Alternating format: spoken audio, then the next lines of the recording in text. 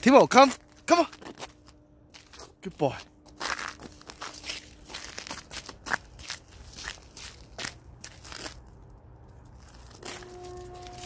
Yeah, 哎呀，善死啦！